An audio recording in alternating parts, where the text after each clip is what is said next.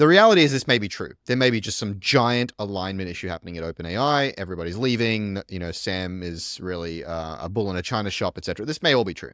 Anthropic, say what you will about the narrative, as you said, they're using the narrative and they're collecting tokens and they're investing in this stuff and they're winning the story. You're listening to the Startup Podcast. This is a Reacts episode. Industry insiders having frank debates about the latest tech, politics, and business news. Whether you're a founder, investor, or operator in a startup, you'll gain insights into how current events connect to broader themes and trends that impact your startup, your investments, and your day to day operational decisions. The conversation starts now. Hello, I'm Amir Shevat.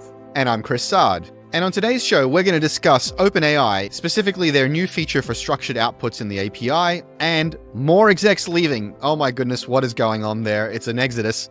We're also going to talk about crypto and tech stock. They've gone through a huge correction, a massive decline. Is this a, a huge downturn, the beginning of the end, or is this just a blip on the radar? And then finally, we're going to talk about a judge declaring that Google is a monopoly in search. How does this antitrust ruling affect startups, founders, investors, and Google moving forward? Will it cripple their ability to innovate or will it create a whole Cambrian explosion of innovation from everybody else in the ecosystem? All that and much more on this week's show. Stay tuned. Whether you're starting or scaling your company's security program, demonstrating top notch security practices and establishing trust is more important than ever. Vanta automates compliance for SOC 2, ISO 27001, and more, saving you time and money while helping you build customer trust. Plus, you can streamline security reviews by automating questionnaires and demonstrating your security posture with a customer facing trust center, all powered by Vanta AI. And it gets even better. Just for TSP listeners, you can get $1,000 off Vanta when you go to vanta.com slash TSP. That's V A N T A dot com slash TSP for the Startup Podcast to get $1,000 off. All right, before we get into today's show, just a little bit of housekeeping. The first thing to know is Yaniv is on a protracted break. He's going to be away for about three or four months. I know, I know it sucks, but I'll be here. We'll have a lot of great guest hosts. And we've recorded a lot of episodes before he left, so you'll still hear his voice over on the EDU episodes week in and week out. And the other thing I want to talk about is the Startup Podcast Pact, which is an implicit pact you've signed if you've heard a few of our episodes and gotten value. We just ask that you subscribe to us in your favorite podcasting app, give us a review, and subscribe to us on YouTube. It helps us juice the algorithm, increase our distribution, and ultimately help more founders like you. All right, with that, on with the show. Let's jump straight into topic number one, which is really topic one, part A around OpenAI. We want to talk about their structured outputs announcement. And then 1B is some executives leaving again uh, and, and why that might be happening. So let's first talk about the good news for OpenAI, the structured outputs addition to their API. Yes. Now, Amir, you and I, we're, we're API guys. You ran the developer platform for Slack and for Twitter. I ran the developer platform for Uber. There's nothing more than we like than a, nothing more we like than an API. Yes. And OpenAI has been steadfast and steady in their continuous iteration of their API. Uh, I think they really thought of themselves as an API company first until the ChatGPT moment. And they just keep adding more and more what I would call developer lifestyle improvements to that API. But you know, some of these are flirting with really like core utility. You know, how to make this really useful in a production system, how to make it deterministic, how to make it measurable, scalable, you know, make the billing easier and so on. And their most recent change is to introduce something they call structured outputs in the API. This is essentially just for those who aren't API aficionados and nerds like us. An API is a way to query another system and get some structured information back. If web URLs, where you kind of browse the web, are designed to return human readable web pages back to you, APIs, you hit those URLs and they return structured data back for other machines to read and act on. The UI is the, the web and the API is for machines talking to machines. And this is, this is, of course, how all of these wonderful applications, AI applications in particular, are getting built on top of ChatGPT. One of the things you need from a good API is structure. Structure meaning like, hey, this little piece of text is about this, and this little piece of text is about this, and this little piece of text is about this. And the structure is often encapsulated in something called JSON. So, you know, web pages are encapsulated in something called HTML, and APIs are typically encapsulated in something called JSON. OpenAI here has added structured JSON responses to their API, which allow you to actually choose your schema, to choose the way the structure is laid out so that your app can kind of define the structure and have more control over what comes back from the API with no hallucinations and, and no missteps. Just makes it easier for developers to to use the thing and to to be confident in what they're going to get back and to be able to parse that and build applications on top. I think this one is really, really important because if you talk to developers that are using OpenAI, the first thing they'll tell you is that it's not predictable. You ask it the same answer and you try to give it a format. Tell me in the format of a yes, no, or pick a number, or pick a color, or pick between two options. It's really hard for us to control what the AI will answer. They say that seven out of 10 times it answers amazingly well, but in the three times that it doesn't, it's really hard to program around that.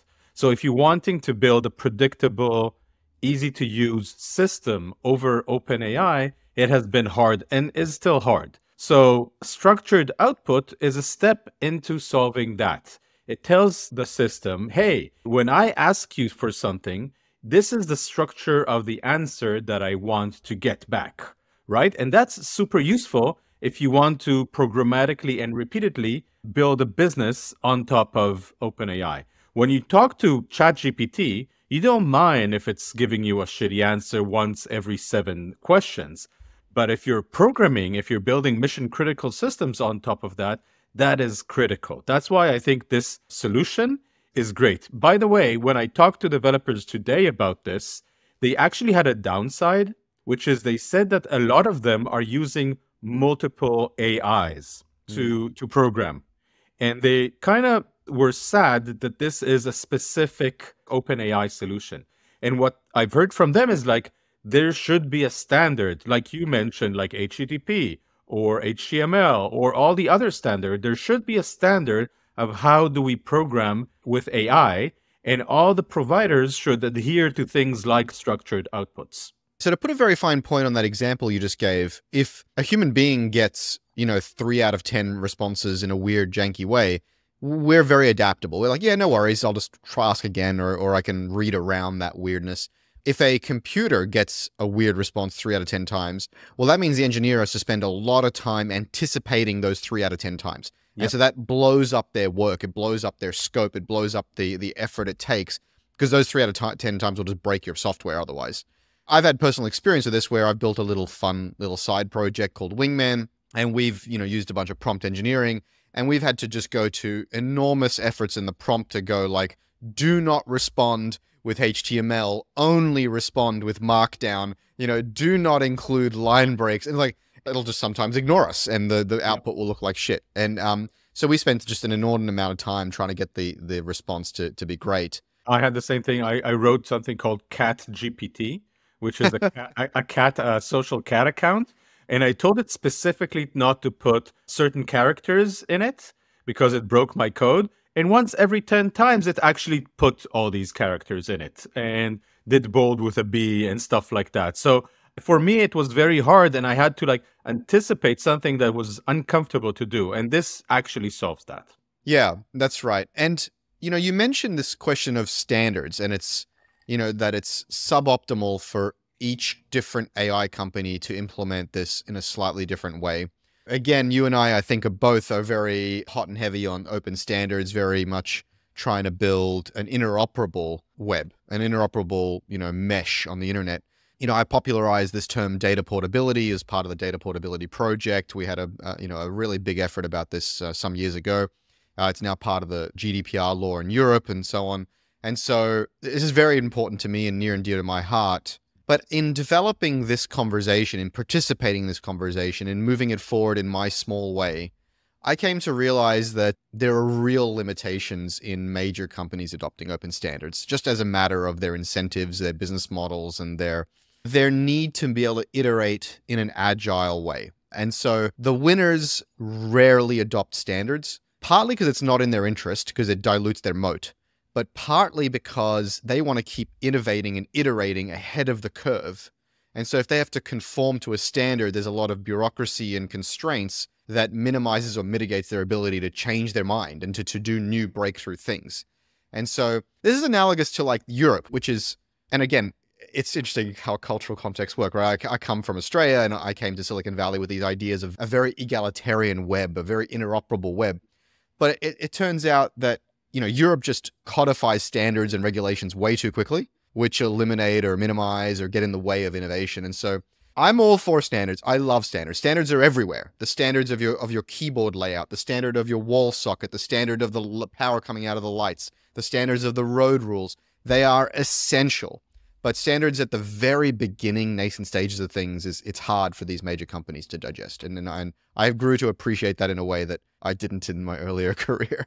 I agree. I think what will happen is that what usually happens with innovators is that the first one innovates really well, and then all the rest steal it, and then it turns into a standard. So my expectation is from Claude and from the other AIs that are out there, from Gemini as well, is that they will have a certain version of their own structured outputs, and then everybody will conform to one good solution here. But right now, the fact that developers have different experiences with different AIs, I'm just saying, talking to developers, it sucks. We used to call those de facto standards, right? So exactly these de facto standards emerge because some group of leaders adopt them and then everyone starts to kind of copy and fall in line. It's not codified by some standards body, it just becomes the way of the rules of the road, the implicit rules of the road. Now, that's the good news for OpenAI this week. The bad news is executives keep leaving, and, and not just executives like co founders and high profile executives in charge of important things. Yeah. Uh, John Schulman has departed, a co founder of OpenAI, and he led post training for ChatGPT and the API. And he went to some small length to mention in his departure tweet that he's not leaving because of a lack of support for alignment research at OpenAI, which has been the narrative. But he is joining Anthropic on their alignment team, um, which, you know, it's it's hilarious, you know, and, and I'd love to get your take on this. I've got some thoughts, but what, what do you reckon about this, Amir? He's definitely leaving because of alignment problems. and I think he is seeing that there is a big problem with alignment. I think the company is driving like crazy to reach things that are not alignment. That's not their top goal. And, and like as a product person, you, you look at what people do, not what people say. And what you see is that top execs that really care about alignment are moving to companies that really care about alignment. He's a founder, and that's major money for him to leave a company like that. So I think this is a bold statement from him and from the attrition in general that you see in OpenAI.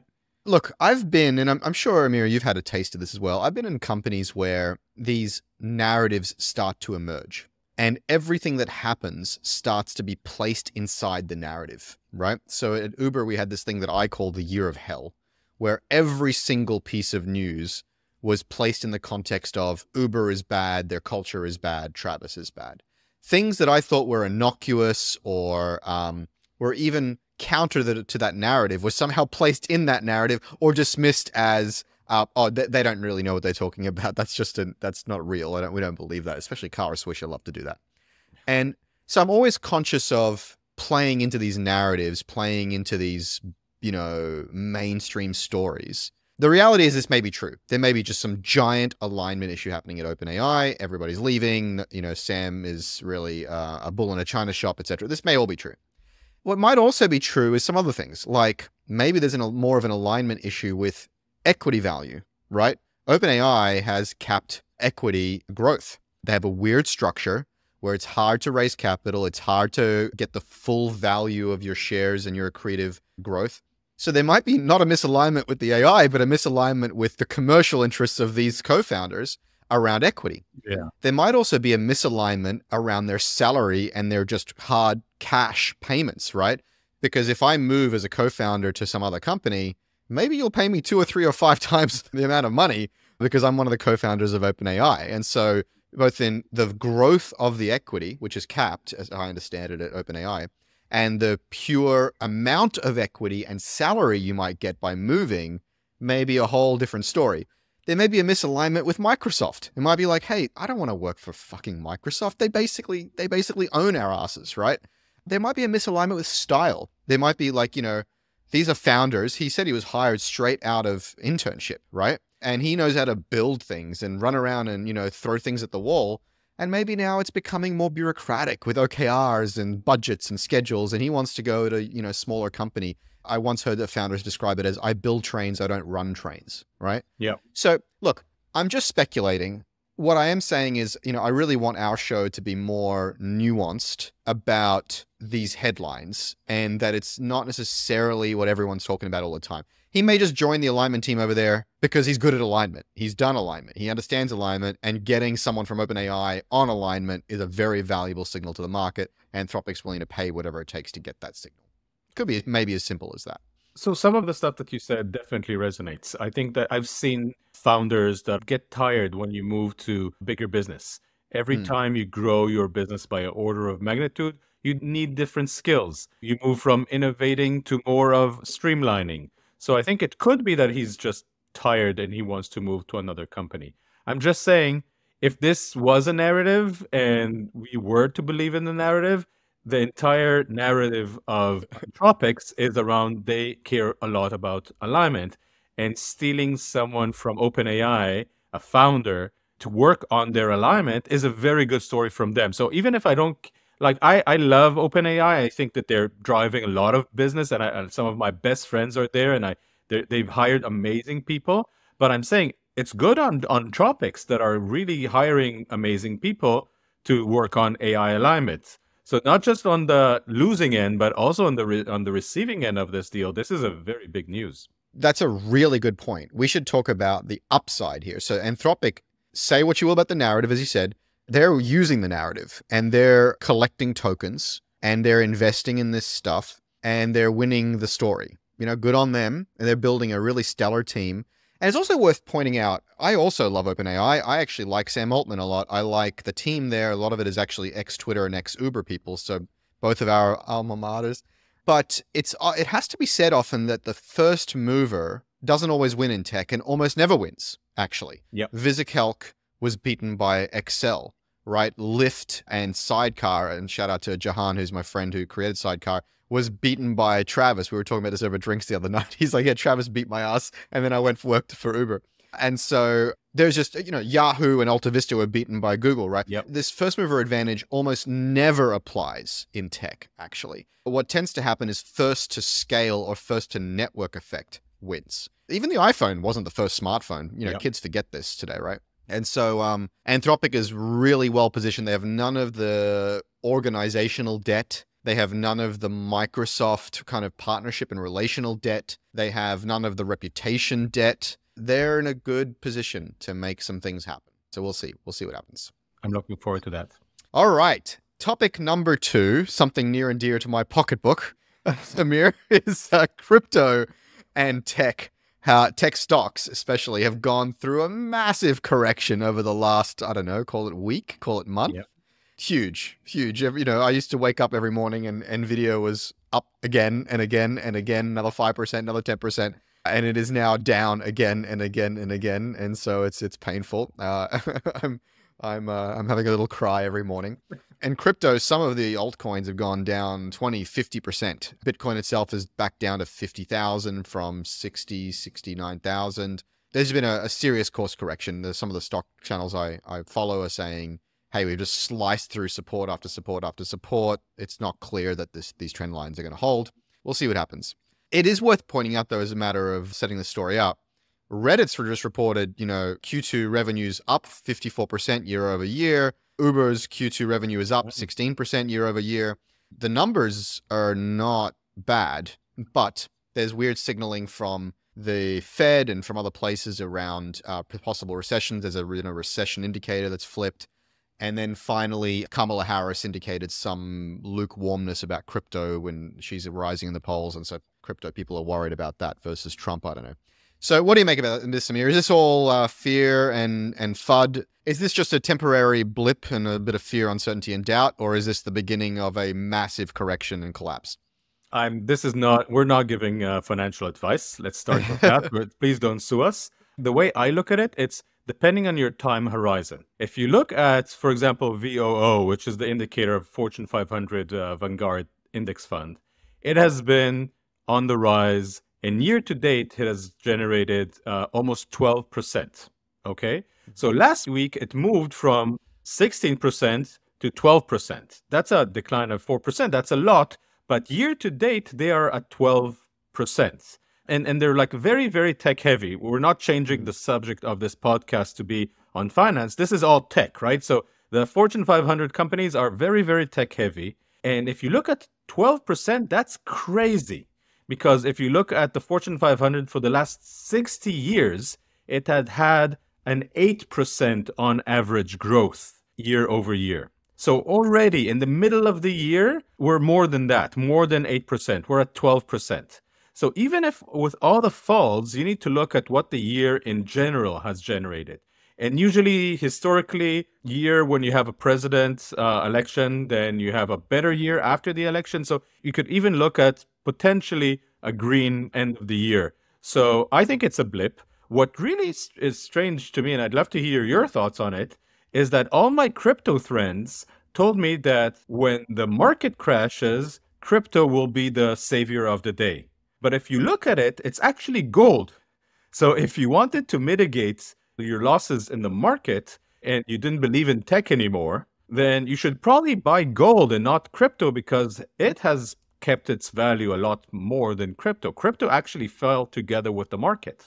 Yeah, that's right. So, you know, you mentioned this is a tech show and not a finance show. Yeah, to be clear for our audience, valuations of large tech companies in the public markets directly affects valuations and fundraising for startups. Yeah. Right. And so as investors are investing in you at your early stage company, they're thinking about the multiples they can get up the value chain, right? Series A, Series B, Series C, and potentially through acquisition or through exit to IPO. Yes. And so these valuations really matter to startup founders and to VCs. I agree with you. This is probably a blip, although we may live to eat our words in the next couple of episodes. And I think corrections are very healthy, right? You know, there has to be consolidation, there has to be profit taking, there has to be just corrections along the way. The market doesn't just go up and to the right all day long. And so I think this is this is fine for the for the most part so far. But what is interesting to me is that the stock market is swinging more wildly than before, and in some cases more wildly than crypto. A crypto has actually been more steady Yep. for me over the last through the whole you know ZIRP downturn, end of ZIRP downturn thing. Crypto has been more stable for me than my stock market portfolio. And that being said, I'm invested in higher growth, risk on you know growth stocks and things, but still. Finally, on the point you raised about the crypto narrative of like crypto is safe as a hedge against the stock market, hedge against the economy, hedge against inflation. Look, none of the crypto narratives have held up it's not a libertarian dream where it's the government's not involved. That's bullshit. The government's involved. You have to have fiat on ramps and off ramps. We all live in governments. Crypto is not a hedge against governments. It is not a hedge against inflation. Inflation's gone up, crypto's gone nowhere. It's not a hedge against, you know, recession or the stock market, especially not tech stocks. They move in relatively correlated ways. You know, so all of these things have been proven false. For my money, in my mind, crypto is simply a transition of money and value to digitization. What's the advantage of that? Well, the advantages of that are, are all the advantages of much of this digitization decentralization, um, fewer middlemen in the loop, more efficiency, more observability, more programmability, on and on and on. And these things are true to one degree or another with, with Bitcoin and as Bitcoin evolves. So, you know, I just think it's inevitable that we move stores of value and providence to digital space. I mean, it's just that seems inevitable to me, and uh, that's that's worth something. What's real utility? So it's what's worth something to me. That's what Trump al- alluded to. He wanted to put the Bitcoin as the underpinning um, currency for uh, for the dollar uh, yesterday. I'm not a macroeconomic geopolitical expert here, and you know, there's all sorts of really interesting connective tissue to the petrodollar and you know the the U.S. military and all this sort of stuff that underpins the dollar, and it's very important.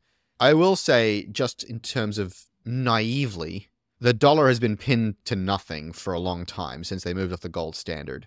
That is an important fact. I don't know if it's good or bad.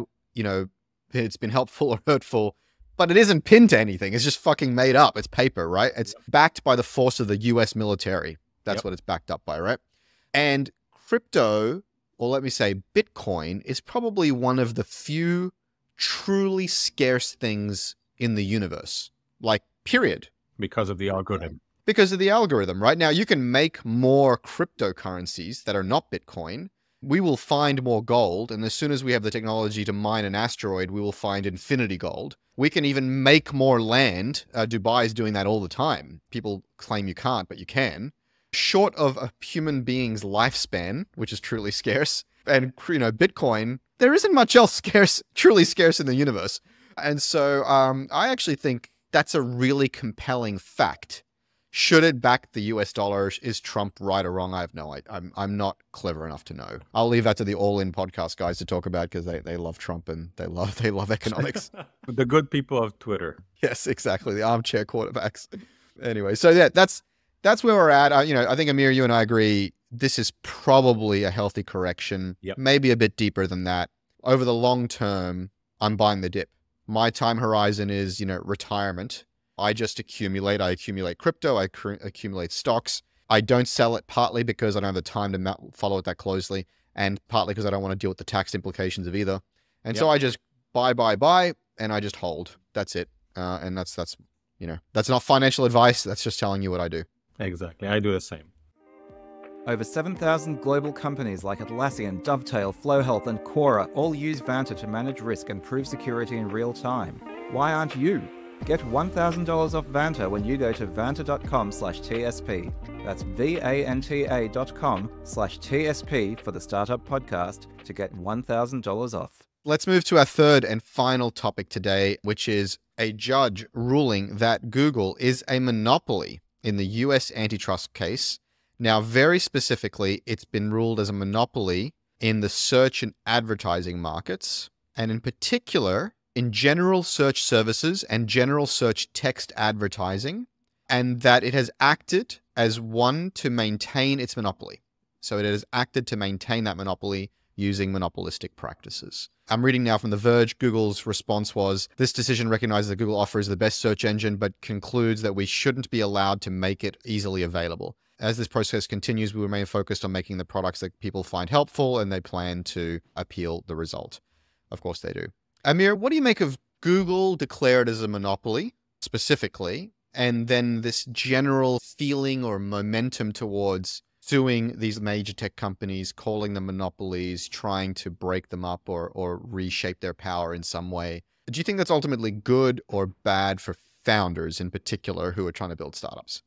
So I, I remember, I think it was Zero to One, where Peter Thiel talked about like your mission as a startup founder is to build a monopoly and then to maintain it. That is a very crude way of looking at it, but it's also somewhat correct. If you look at Google, Google had a monopoly. I don't think it had a monopoly because it killed the competition. It just was so hard to build what they've built.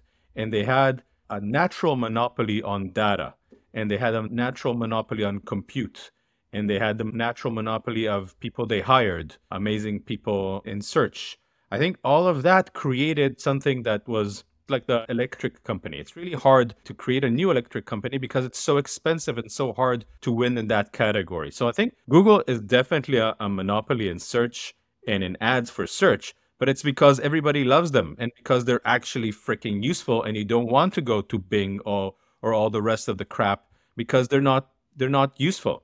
Is it good? I think it's bad. I think it's bad because I don't think Google has been the type of bully monopoly. And I know I've been at Microsoft when they were going through the monopoly verdicts and being broken down. It really changes a company to the worse. It gives the power to the legal people in the company. And then you move into internal fear, uncertainty, and doubt, where everything that you release needs to go through an army of legal people whose sole job it is to not launch anything to protect the asses of the executives. It kills companies, these type of things, because it changes the perception of innovators first to protect your ass by a hundred legal people first. And that is that is toxic to a company. Yeah, this is a real mixed bag. So on the Peter Thiel quote in Zero to One, he was initially talking about becoming a monopoly in a niche, of course. Yeah. Uh, and so you want to do one thing really well But of course, when you do that one thing really well and drive network effects, that monopoly can very quickly grow into other niches. And it's, as we talked about earlier, first to scale, first to network effects wins and wins because of a natural monopoly, a natural exactly. power law. Everything starts to accrue to you, right? What strikes me is the timing of this. The Microsoft antitrust ruling came just as the major platform shift was occurring to the web and to the browser and also to mobile. And that really cut Microsoft's legs out from under them yep. and eliminated or minimized their chances to catch up and keep up with the internet revolution. And Microsoft fell way behind, allowing Netscape and others to come in and win, and then to fall behind on the mobile space. Where they took a long time to get into that game, and, and Windows CE ultimately failed to compete against iPhone and things like this. That really, really hurt Microsoft, like massively. It cannot be overstated how much that hurt Microsoft. And it seems to me this is happening again at the same inflection point or similar inflection point for Google. Yep. Just as the web is moving from pages and search to large language models, Google's legs are being cut out from under them. As you, I like what you said, Amir, being the company is going to be handed over to lawyers. They will not be able to ship and iterate and innovate as quickly. And it is going to create a major gap, a major opportunity for Microsoft, for OpenAI, for startup Anthropic and for everybody to come in and fill that vacuum. This is a major, major decision and a major implication for the whole ecosystem. Now, is it good for startups? I think it's a mixed bag. On one hand, large tech companies acquiring smaller startups and scale ups is part of the food chain.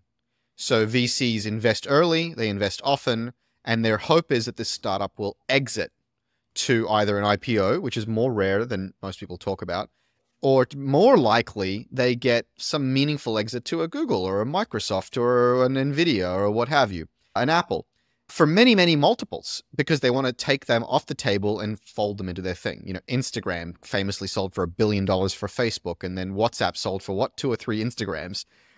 we used to measure everything in Instagrams back in the day. it was like it was three billion, it was three Instagrams. Um, and so this is this is what made you know the whole ecosystem work in Web 2.0. It's why people were investing in social apps in the hope that Facebook would buy it, right? And so, as I said, like valuations in the public markets compress valuations or affect valuations in the private markets. Acquisitions and the acquisitiveness of these big companies affects valuations. And if they're not able to acquire because of fear of antitrust law, this is a problem for the ecosystem and the food chain.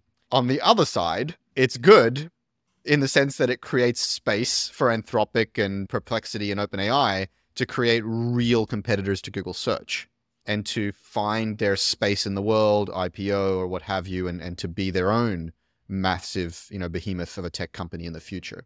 So what do you think about that, Amir? If, if you like look at the pros and cons for startups or like the pros on one side and the pros on the other, where does it net out, do you think? I think it's net positive. I think at the end of the day, there's a lot that you could compete with Google now. I think there's a lot that Google will not compete with you. To your point, there's going to be a lot of fear now inside Google. It's going to be handed out to, to legal people. If you want to get promoted in Google, you will not launch things. You will very slowly change things together with a, an army of legal people. So the, one of the biggest competitors and drivers of money is now being held accountable to some extent, or at least not as competitive as it should be. On the other hand, I'm really worried for all the platforms. I think Google is an amazing developer platform. It has Android, it has cloud, it has a lot of other things where it will stop innovating there. Developers are going to get hurt. So I think if you are competing with Google, this is good news. If you are using Google as a platform, this could be a bad news because your platform is not going to innovate or do crazy stuff in the next few years. Yeah. Yeah, I think it's hard for me to say if it's net good or net bad. I think it changes the landscape. Uh, maybe it's sufficient to say it changes the landscape. It's not necessary for us to categorize it as good or bad. I think it's a mixed bag. I think it has to change your calculation as a founder. An exit through acquisition may be less likely to make one of these major tech companies. So you have to think about how do you punch past that, uh, grow past that to be your own substantive revenue company or or even IPO. I think it's really interesting. I wouldn't want to be bought by Google in the next five years. I don't think. Well, I just I don't think they will. I, I don't think they'll buy you. yeah, I don't think they'll have the appetite. Another effect here might be, Amir, that the best Google people won't be able to handle this kind of bureaucracy, which is, you know, Google's already pretty bureaucratic, but this additional layer of bureaucracy. And so there might be a bit of an exodus from Google to other startups or to new startups. And so this might yet further fuel the creation of AI companies and, and it'll make it easier to hire maybe, uh, you know, uh, salaries may go down a little bit, supply of great talent may increase a little bit. So yeah, it changes the landscape. And I think as a founder, as an investor, you need to think about that. And also, you know, if you get that question from an investor, like, well, how do you know Google's not going to go do this? Man, Google's not going to go do fucking anything. Google's not going to do that. Google, Microsoft, you know, Facebook, they're they're walking on tenterhooks right now. Apple as well. And so I will say one last point. I struggle with this monopoly law stuff. Like, yes, certainly if you're, you know, taking people out the back of the woodshed and, you know, breaking their knees, that's completely un- unacceptable.